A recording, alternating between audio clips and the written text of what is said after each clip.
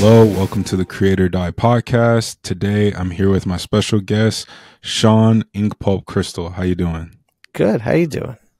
I'm doing good. Super pumped to talk to you. You're definitely the inspiration behind this podcast. So Oh, really? Thank you. yeah, I guess uh before we go into your story, um can we start with uh why you started the Ink Pulp podcast and what your kind Sure. of mission statement was for that? Yeah, when I first started it, I was at a place in my career where I'd been working for Marvel exclusively probably about 4 years at that Mhm. point. Um, and I was teaching full time and running the the sequential art department at SCAD Atlanta. and I, I was really trying to to get my career up to the next level. I mean, I was working steadily, so I wasn't like trying to break in, but I was trying to get my footing and and not just be like like raise my my profile a bit, not be such a Mhm. no name.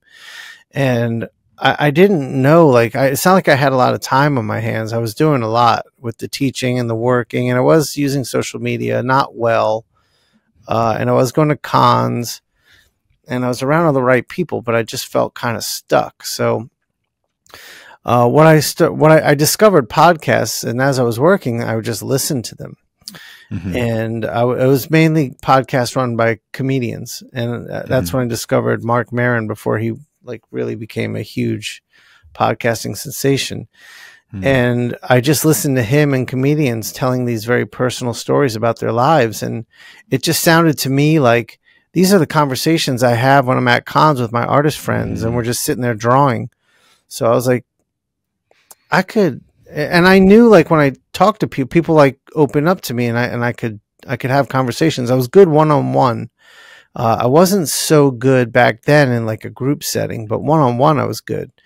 So I decided like, hey, comics doesn't have anything like this right now, and I'm good at talking to people. And when I'm at a con, I could just record. So uh, my my mission statement was I will only do this live in person. I didn't want to record through the internet Mm. this is before the days where where video recording was really an option and Yeah. and then video podcasting was even was even rarer of an option so um as fortune would have it one of my grad students at the time was a um, a musician and a sound designer and he owned a video editing business so we were just, i just mentioned like yeah i'd love to have a podcast and he was like oh you can and i was like i don't know how to do it and he was like, "Oh, it's not that hard." I was like, "I just don't have time to edit and do all this." And he kind of said, "Well, look, let me let me do that. Let me edit that for you and, and put it." I wasn't the editing I needed because, like I said, I wanted an authentic conversation. So I didn't Yeah. want the the conversation to feel edited, but I needed someone to like put an intro in at the beginning, an outro song at the end, and get it onto the internet somewhere. And he Mhm. he had experience doing that, and I was like, all right, well, how much is it going to cost me to, to get the equipment I need? And he took me to Amazon and it was like under 500 bucks to get everything I needed. So I got it and I started and, um, this was at a time where I was, I was in a pretty dark place. I mean, I was working incessantly with two full-time jobs, two little kids at home. And I, I wasn't feeling like I was getting away. I feel like I got in the door, but I feel like I was just stuck like at the entrance, like in the lobby. So uh, it, I was struggling a lot. And uh, so th- this that was sort of the the voice that was behind this. So I wanted to get the authentic stories from these people. It, it was never meant to be a hype machine. It was never meant to be like, "What are you working on?" And let's promote Yeah. that project. Like that's not what it was. It was really like, I want I want to talk about the person, what it's like to be a creative person, what it's like to live with the challenges we face as creative people. So that's where it started. Yeah, I mean, I definitely relate to everything you're saying because even the name of this podcast, Create or Die, comes from exactly what you're talking about. And like the fact that we're the type of people that it's weird. Like, even if you're not an emotional person as an artist, you're the type of person that like doesn't, can't be happy in every single environment. Like, whether it's working at a grocery store or being a lawyer, like, it's very specific circumstances that you need to kind of feel fulfilled. and Yeah. that leads to a lot of like i don't know like a like this a life that's like kind of chaotic until you find what works for you Yeah, totally, totally. Yeah, it's um, it's something I don't think people can understand who aren't creatives. Yeah. Um, you know, I think from the outside looking in, it looks very entitled to be like, I'm not happy Yes. unless I'm drawing. But Yeah. when you have this drive in you and you have this this artist in you, it, it's it's consuming and it's you feel like it's your purpose.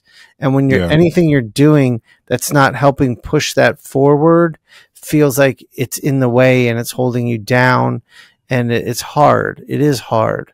Um, yeah and, and I think that's a hard thing for people to grasp when they're from the outside looking in. It's not a job for us. It's not a, I mean, it is a job and it is a career, but that's not what drives us to do it.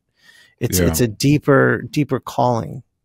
Yeah, for sure, for sure. And yeah, I agree with everything you're saying. And I think that especially people, for some reason, I don't know if it's always true because I think uh, listening to your podcast really dispelled the myth in my head that anyone had it easy. I think everyone is like this journey is not easy on anybody. I agree. And, and that's Yeah. what the podcast was really kind of, um, putting out there.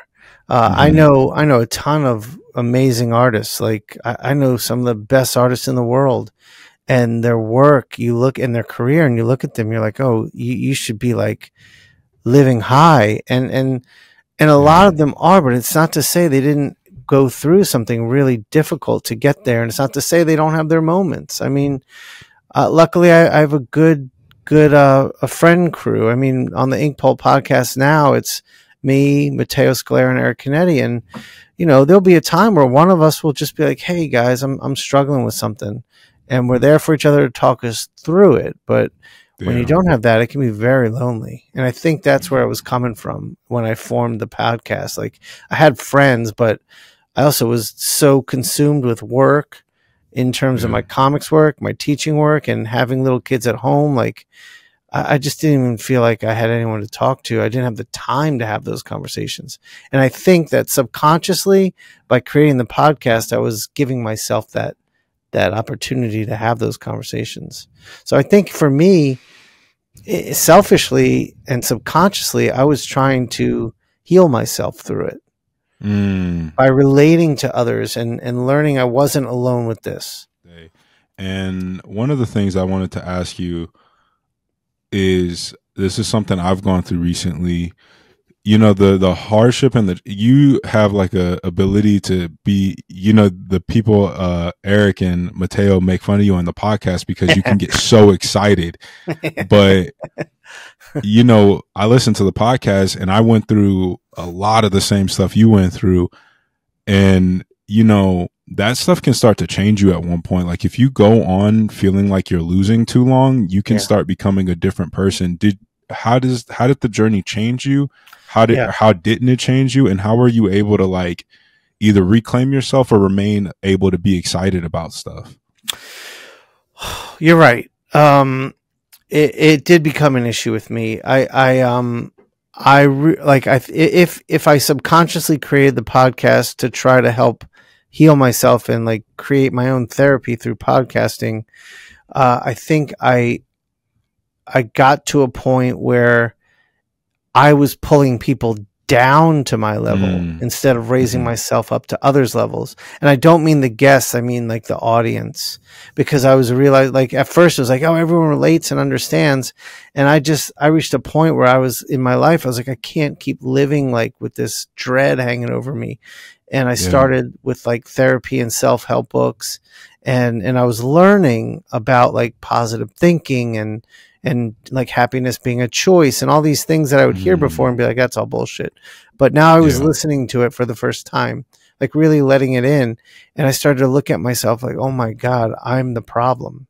Like Mhm. I, I was feeling these things and it, I wasn't intentionally the problem and I wasn't like blaming myself, but I was like, I have to change this. And that was at a time. So the podcast kind of like fizzled for a little bit. And as I stumbled around trying to figure out what it's going to be now, because I, I, started doing the positivity thing and I just noticed like if I said one negative thing, that's where all the comments would be. And I was like, oh my God, I have to work to raise people up around me, not bring them wow. down. I'm just spreading like low vibrations and, and negativity and sadness when I really could use this to be doing the opposite. So it took a while to figure out what I was doing. I mean, I, uh, a few things happened. One, um, everyone's careers and com- well, conventions changed. They became much busier for the creative community. Um, they they weren't as casual as they used to be, and all of my like like my school of uh, like uh, class, I guess is a better word. My class that I came in with, um, were all starting to become superstars. And mm-hmm. so getting guests was harder and harder. And I'd set up like three or four for a weekend and I'd be lucky if I got one.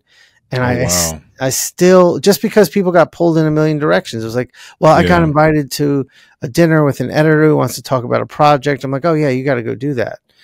Um, so and it's and I still was insistent that I didn't want to do this online because when you're recording a, an audio only podcast through the internet, it's so easy for people's attentions to be diverted. I mean, like yeah. if I start surfing the web, you'll see you can see me, yeah. you know. Um, and also when you see another human, even on a screen, you feel you're engaged. But when you're just yes. talking, it's like, oh, you don't need to see me. I can do other things while I'm talking. Um, so I didn't want to do that. And so then I started, I was like, all right, well, let me do like seasons. I was like, cause instead, cause I was doing it once a month and I was like, let me do seasons. And what I'll do is I'll take a trip and I chose Portland, Oregon as my first trip to do so. And I'll go out there and just my whole goal is recording podcasts. And that was great for that season, but it, you know, it, it cost a good bit of money and I was getting busy. It was just harder to plan those trips. And I think it was also just harder. Like I was still, as a host, I wasn't what I used to be, and I didn't know mm-hmm. what I was going to be. Mm. So I don't think those were bad episodes, but it just didn't feel like the voice of the show was there. It was it was changing. Mm-hmm. And then COVID hit, and you know traveling became that you know not an option. And yeah. that's when everyone I know, we were just getting video equipment. We were like, we're trapped in our studios. We're going to work all day. Let's just hang out and draw. Yeah. And, uh, we all had cameras and recording equipment just right in front of us so we could communicate. And I was like, if I just hit record, I've got a podcast. Yeah. So that podcast became the COVID Chronicles. And that mm-hmm. was just me hanging out with artists, drawing and talking. And I was trying to interview them while I was drawing. It, it was just like I couldn't do both well. I could either mm-hmm. draw and talk about the art side of things well, or I could talk about some personal shit and not draw as well. So that that was challenging, and I mean, it served its purpose. It got us through COVID and it kept me putting out material. But yeah. shortly after COVID, because we got so used to hanging out and seeing friends on camera, Eric reached out one day. He's like, "Hey, let's hang out, me and Maddie." Because I mean, the three of us go way back, we, and yeah. we're just like we're like this crew. We we used to do every show together, and you know, with our art dealer, he'd be like, "I can get you know people rooms," and he could get us flights, and he was like, "I need some people to share rooms," and we were just told him, "We're like, Jay, put me, Eric, and Matteo in the same room every time. It's fine." Uh, like we love being together. There we we room well together. We do cons well together. So we just were we were a crew. So when eric said let's hang out we're like all right. So we hung out just to talk not to draw but just to catch up. Eric was like let's record this. Like we were like talking for 20 minutes. He was like let's record this. And so we did.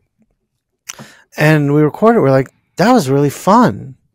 That was like funny and informative. And it was like oh shit. This is awesome and I was like, I'll put that out on my channel. And then it was like, okay, let's do it again next week. And we, it just, it just became an organic thing to, mm-hmm. to where it really grew into, I think, well, I know the most successful version of the podcast to date. So it took yeah. me, you know, like 10, 12 years to figure out what the show should be. I think the yeah. first few years of interviews are, are some of the best interviews out there. Yes. But what it is now is, it, first off, it's people laugh and people enjoy it, and the engagement we get from that is so much better and so much stronger and deeper. So uh, you know now we've got running jokes, and and the guests we're getting on now is is crazy, and the numbers we're doing now. And we hired an editor just a few months ago to cut social media clips for us and and uh, put the podcast together and it's been like I feel like next year it's a thing. Like at New York Comic Con this year, Matteo and I just person after person stopping by, like the podcast is awesome. I mean, Matteo Wow. was walking down the street and someone just screams out, Matteo Scalera, love the podcast. Like I know Wow. Matteo's a rock star of an artist and his name is known, but his face is now known because of the show. And the same Yeah. thing happened to me at Dragon Con. I was walking down the street and I just hear Inkpulp. And I was Yeah. like, oh shit, this is catching on. So uh, the creative community loves it. Like Yeah. we have tomorrow, Humberto Ramos is we're releasing Oh shit. dude i'm telling Wow. you so at new york comic-con humberto came over todd mcfarlane's people came over and a few other creators came over we recorded with humberto it comes out tomorrow we recorded with todd mcfarlane comes out Christ. january 1st and Oh uh, right gosh. now we're we're we're locking down a, a whale. So um it's been awesome. But we still uh, while we're having those successes we've all agreed only one guest per month because the show is us. And that's what people love. So it, it's been great now. Like now it's just it's it's so fun to do. We have so much fun doing it. And like i was just in abu dhabi for a con with matteo Mhm. and everyone knows the podcast wow. and like all the artists in the community. So all week, we're like, oh, that's going on the podcast. We're we're like recording video clips, so we when we do this recap, we can put on the podcast. So it's become something really exciting for us. Wow, man. That's, you know, it's crazy that, like, you know, you can do these things in order to advance your art career. But I think that as time goes on and these things become solidified as like a part of culture, you realize this is a part of your creative output. This is a part of your your legacy. And the other thing that I really, really love, and I know you don't do it on purpose, but I felt like when I first started listening to your podcast, it was years after. And I felt, and it was at that time when like Rick Remender, it was on fire, Image was on fire, Walking Dead, and there was almost no negativity in comics. And your podcast, I'm not saying it was negative, but you counterbalanced the what felt like fluff. Right, with- right, right. Yeah. And, And, that, that was that was my thing. I mean, the reason I wanted to do it was to be authentic. I wasn't putting Yeah. on a show of being down. I, I was like, people like everything was, especially in the days of the internet. I, I looked around. I was like, everything was artificial. Everything was yeah. was um, was created. I mean, the the image of people online was curated and created, and and it was like there was nothing real anymore. And that's what resonated with me about Maron's podcast was I was hearing real human stories Mhm. and in an age where and it's only gotten worse the like the inauthenticity of everything has Yeah. gotten only worse so i still think we keep that in the new version we're just authentically three friends talking Yeah. shit and talking about art and so I think there's some real authenticity to that as well No, definitely. And it's like an authenticity because I think before it was an inauthentic inauthentic like perception of success. And now it's almost like an inauthentic negativity where it's like people have gone out of their way to be negative to the point where it's like, how do you live like this? And the thing that I think, I think the podcast would be great regardless, but I think really the thing that is so great about you three is that you guys are heavyweights artistically, but you guys are fucking fun and and it's hilarious. And like my wife is like, I'll, I'll be working and I'll listen, and my wife's like, "You're a fucking idiot," because I'm just laughing my ass off at like things you guys do when like the screen goes black and white. And so it seems like you've always been able to offer what the industry needed at a at a specific time where it wasn't getting that just by going through your journey. And I think that's like so like badass. Like you offer something the community needs at a moment where literally no one else is doing what you're doing. I think Well, that's just thank sick. you i really appreciate that that's great to hear uh, Mhm. i never thought of it that way but i can see what you're saying Um, Yeah. and you know, we I realized like getting back to like always being like on on the like low vibration, the the downside of things. I we are fun. I mean, I know this about Matteo, me and Eric. Like, I know we're fun. But like this whole Fratelli Brothers thing was just a joke between me and my friend, and it's like it's an industry thing now. Like, Yeah. like there, people talk about Fratelli shit all the time. So I realized like when when like w- we're magnetic that way, and Mhm. and I would always keep that in. And and like in Abu Dhabi, we just let it out, and we had.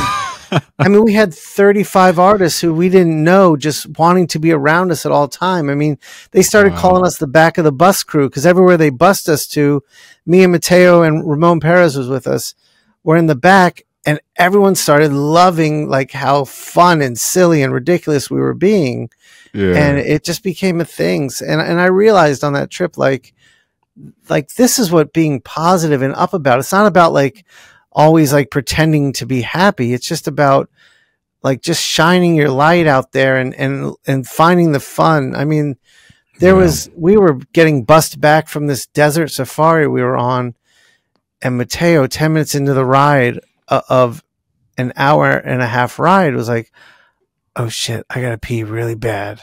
And I was like, oh man, bro, I'm sorry. He's like, oh, I'm going to try to hold it. And like 10 minutes later, I could just see he was starting to get, like, it was becoming painful. Like he was pinching his cells, trying not to pee. So like I down a bottle of water. I'm like, here, bro, you got the bottle if you need it. And we're in the back of the bus again. And, and Ramon's kind of picking up. He's like, what's going on? I was like, dude, it's bad. Matteo's got to pee really bad. And then the, the girls who are sitting with us heard it too. And we just all start jamming at Matteo, like laughing and, and making fun of him. And he jumps right in. So it's like we turn this thing that was, I mean, a horrible thing to have to feel like to hold your piss for an hour and a half when you're dying of pain sucks. But to Yeah. have it happen this way makes it better. So when we pulled up to the, to the hotel, um, and, and Matteo had asked the bus driver, can you, can you stop? I gotta go. Like it got bad. Like when he started walking up to the bus, that's when everyone's like, what's going on? So when we f- and the bus driver was like, "No, we're almost there," and it was like 20 minutes away, and he was like, "Fuck, man, I'm not gonna make it." So we get to the hotel, and everyone knows he has to go. I was like, "Matteo, just run, just run, go, like get off the bus." So he gets up and starts like quickly moving the front. The whole bus erupts in applause, a- and it is like Oh cheering, Matteo. And so I filmed it. I filmed the whole thing, and Oh then he runs off the bus and like five minutes later i get a, a video of him. Like all i can see is the wall but you just hear him pissing like like a fucking horse. And he's saying the funniest shit. So the next episode we record is going to be a recap of that show but we're going to put all that video footage in there. It's going to be hilarious.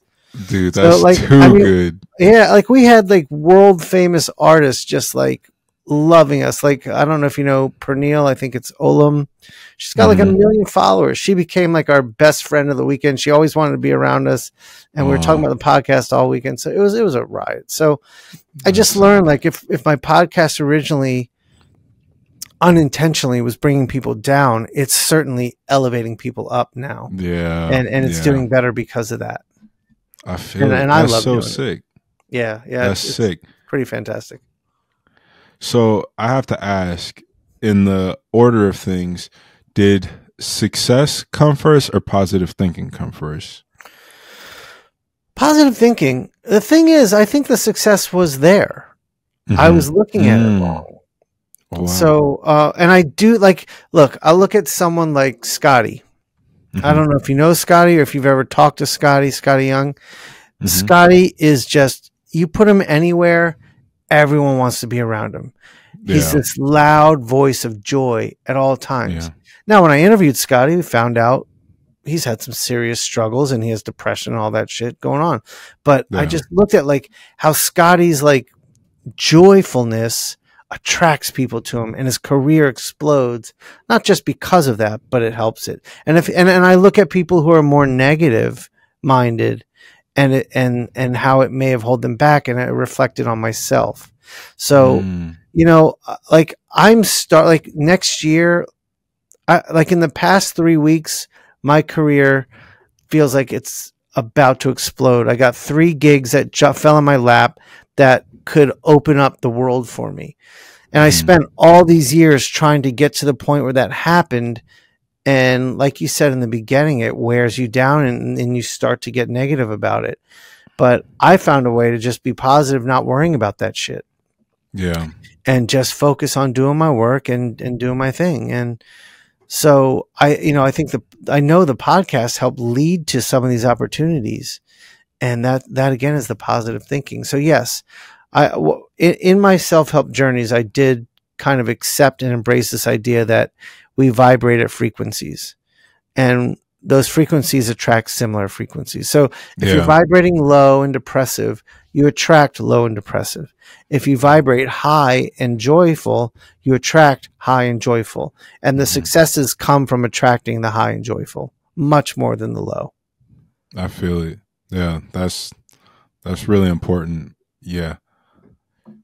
Yeah, yeah. No, I totally agree. I'm trying to think of like how to add to that, but it's like perfect to in and of itself. Yeah, and I mean, again, that's just something I, I had to learn. It took me a long time. Some people it was more natural. Um, I mean, Matteo is always a very positive person. He Yeah. definitely has had his struggles in life. I know, being his like close friend, that like he's had some rough stuff going on. But I mean, uh, that that is a human being that that I I just look at and learn from constantly. I mean, in Yeah. Abu Dhabi, like just watching him interact with people, like Matteo is probably at, at the like one of the most celebrated comic book artists right now, Yeah. arguably the best at at, at at doing it. And he treats no one differently, and he doesn't act as if Mm. he's in that position. Yeah. Um, you know, he's just I'm me, and what I do doesn't mean anything. I'm just me, and he treats any new person with the same level of absolute interest and respect. wow. And um, it's it's it's really wonderful to see. That's crazy. Yeah, and you look at someone like him, I feel like his output, which is absolutely insane, comes Yeah, from the it's- fact that it's not right. no, it's not. And It's not I feel right. like it not comes fair. from It's the fa- right. No, it's not. It's like he's always posting every day just a new badass piece, like daily for years. yeah, yeah, doesn't slow down. He's insane. But I feel like that comes from the fact that like he's able to keep his energy and protect his energy by like being the way that he is. So Yeah, I think you're right about that. I definitely do. That's cool. So, in your journey with everything that you went through, because I mean, I'm gonna give an overview of what I know, and then you can correct it. You've gone from like skateboarding, punk Mhm. rock, hardcore. You're from the East Coast, and then from there, I know you were like uh, doing bartending and went to Mhm. school, Mhm. and then you kind of had a journey, and then you became a teacher. So, out of your entire journey, like, what are things that you think if you could go back, you would have done differently, or change, or lessons that you could give, even if you wouldn't change it for yourself, if you could give it to someone else? It's good. A good question. Um, I would, I would try to change my mindset. I would Okay. believe in myself more.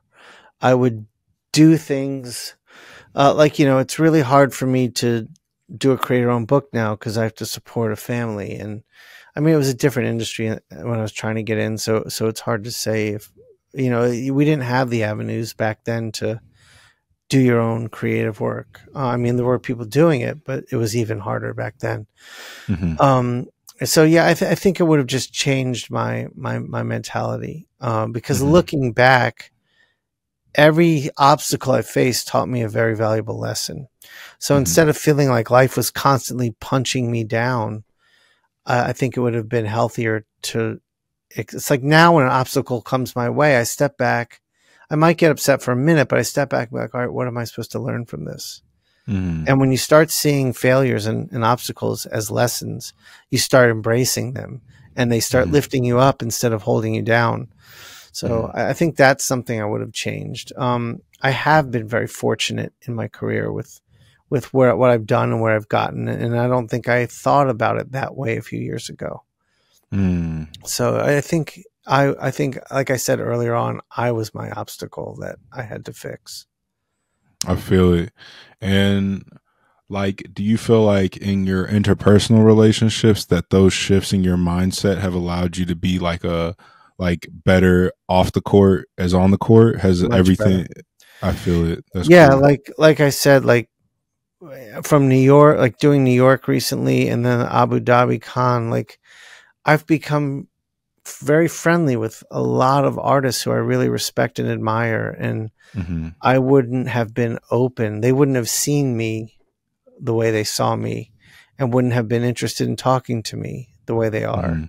were Mhm. recently. So yeah, I, th- I think it's like having this new mindset has definitely affected my my um, relationships with people in a much more positive way.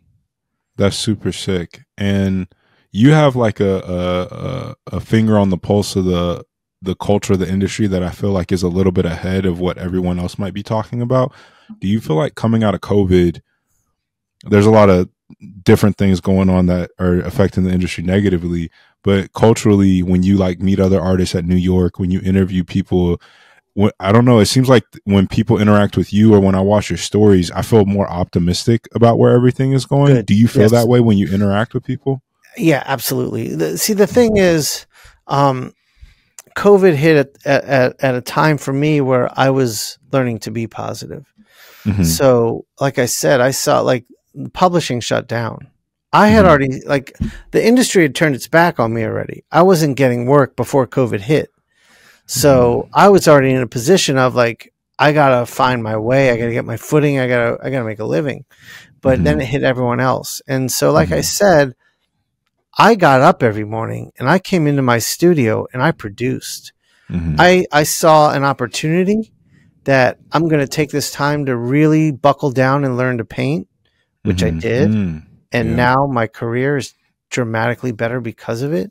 I Mhm. recorded episodes with my friends of us drawing, and day after day, I saw people posting like, "Life sucks. I'm I'm stuck in my house. I'm uninspired," and it was like, yeah, see, that's a choice, and and Yeah. that, that's like I would probably like I worked harder during COVID. I didn't have a day off. Like my wife was forced to be home because you know we were locked on lockdown.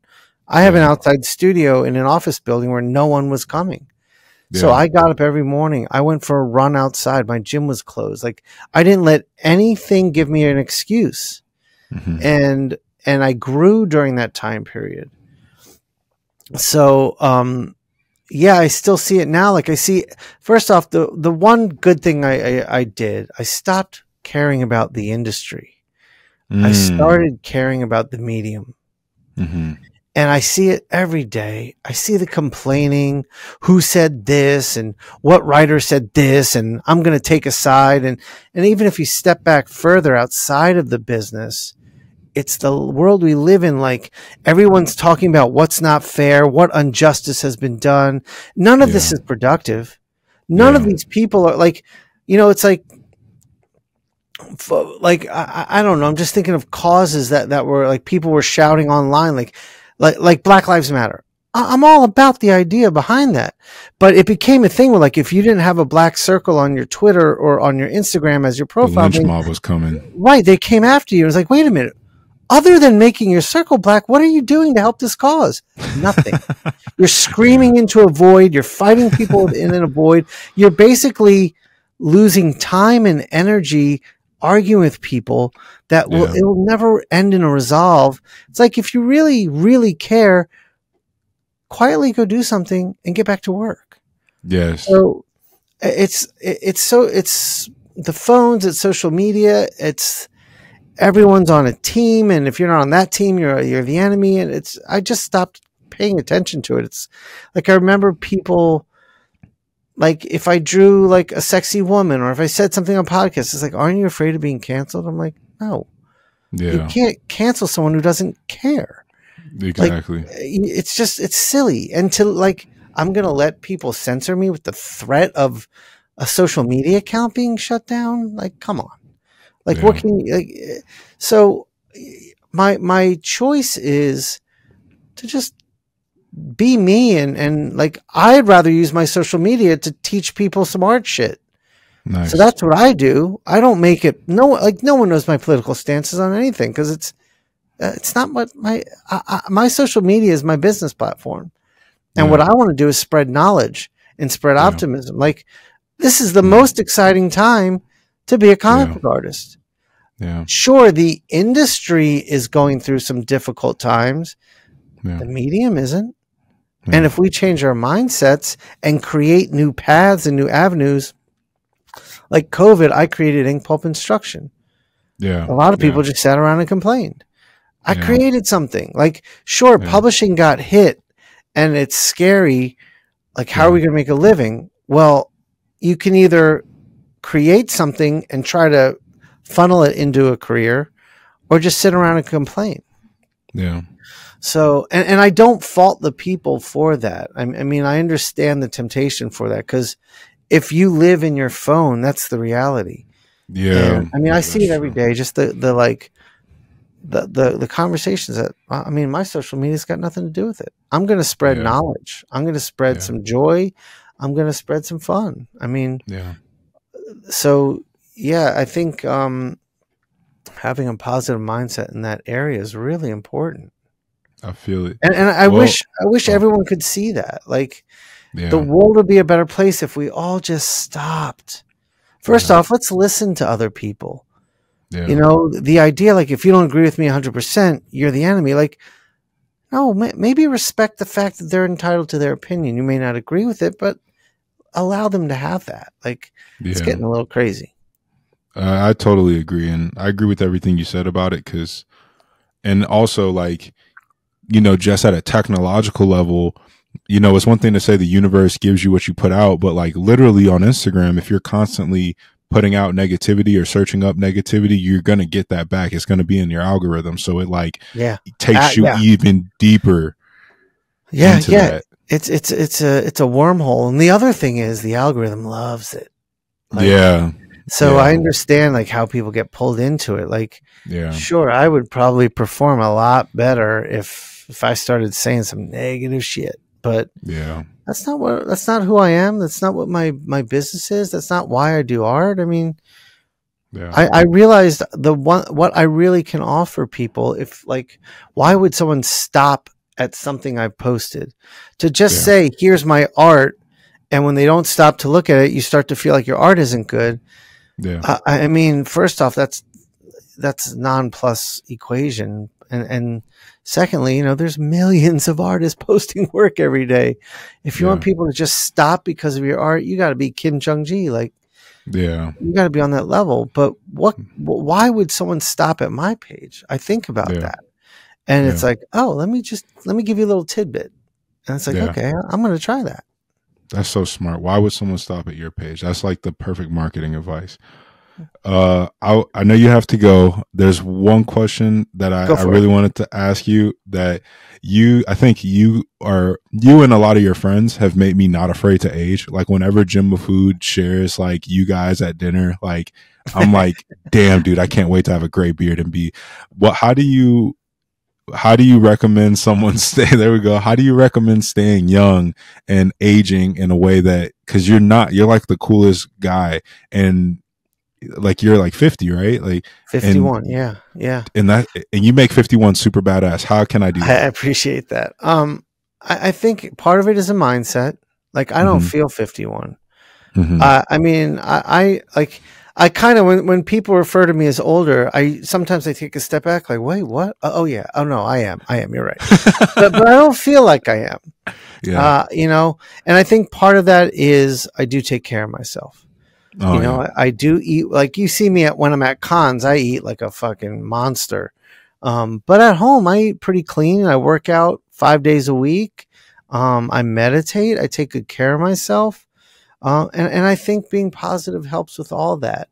Uh, Mhm. cause like, look, I'll tell you, I do have aches and pains on a daily basis. Like that part of aging Mm. is real, but sure because I take care of myself, it's not as bad. Like, yeah I see some other artists my age who don't take care of themselves. Like, like the idea of walking like as much as we walk when we go to dinner sometimes is like, they're like, I can't do that. And it's damn like, you know, this is a sedentary job. Like yeah working on comics, you're sitting in a desk all day for Yeah. hours. So Yeah. you got to take care of yourself. Uh, and Jim does the same. Um, Matteo does the same. Matteo's younger, so fuck him. Um, Eric. But yeah, I mean, I think it's just a mentality. Like it's funny because when I was a kid, I thought someone fifty was a senior citizen. Yeah. And then you turn 50 and you're like, I feel the same. Like mentally, Yeah. I'm the same person. Um, Mhm. But also, one thing, and uh, this is something I'm thinking about more and more lately. I want to get back to a place where we respect the elderly Yes, because there is Yeah. such wisdom in them. Yeah. Um, and and I would love to see us culturally get get back to that because yeah. you know the way people talk about old, old people and the, the way people yeah. Treat them it's like they write them off. It's like man you could learn so much from that person. Yeah. but you know also you asked about my excitement. Um I, i'm a kid at heart. I've always been a kid at heart and i'm not afraid to be goofy and have fun. And i think that's the key. Like you gotta just like when i'm with my friends we have fun and that's what that's what everyone at the in abu dhabi saw. Like we Yeah. love to have fun. Yeah. so i think that's the key too All right, man. Well, I want to respect your time. I know you got shit to do. I Thank really. I really appreciate it. you coming through and dropping some wisdom and being super candid, man. I really, appre- this is going to be one of my favorite episodes. Ah, oh, dude, I'm so glad to hear that. This was a lot of fun. And if you, if you, I know I had to go a little bit early, but if you do want to record another one in the future, just reach out. I'll be happy to All do right. it. Will do, man. Will do. All right. Thanks, man. Thank you, brother.